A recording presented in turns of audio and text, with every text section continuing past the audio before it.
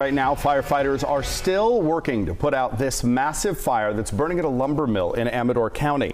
We're looking at time-lapse video here from the fire, the Argonaut Alert wildfire camera overnight. And this fire is burning in the small community of Martell. It's near Jackson. It's about an hour east of Sacramento.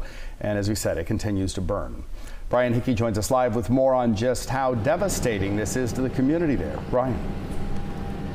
And I just talked to some of the employees that work here. In fact, a couple of guys that came up from Folsom to see what was left of their workplace. And you can see behind me here, this building that you're looking at, the roof is completely collapsed on it. And I've learned now that it was a large warehouse, and that is actually where they stored the wood that was being created here at this mill. It's a mill that uh, creates pressed particle board. So they take wood fiber, bond it together with uh, adhesive, and then squish it together into that pressed particle board.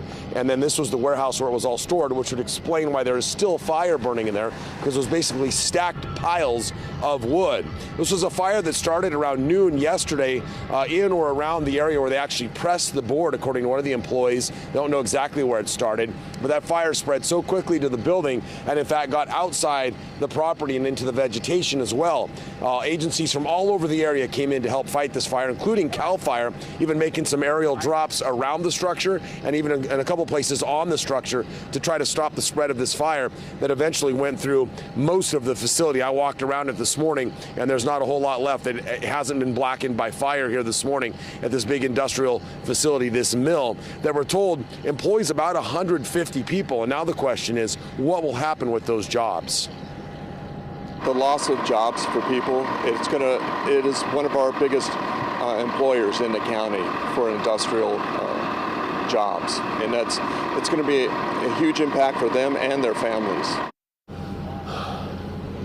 It's the only mill of its type here in the state of California, we're told. And uh, as next week, August 3rd, they were expected to celebrate the 50th anniversary of this facility. What you're looking at right now, I've learned, is the actual area where they would press the board. And one of the employees telling me he believes the fire was somewhere in that area. He tells me he was working right where you see the water rain down and didn't even have time to grab his tools to get out of that building before fire swept into the warehouse, rolling along the rafters. He said it was basically just had to run for his life out of that building as the uh, sprinklers were starting to come on. So again, the effort here this morning to stop the spread of the fire, to stop the flames, period. But with all that lumber in there and that deep-seated heat, it's probably one of those deals where they're just gonna have to make sure the fire doesn't spread anywhere else and just let what's there burn out.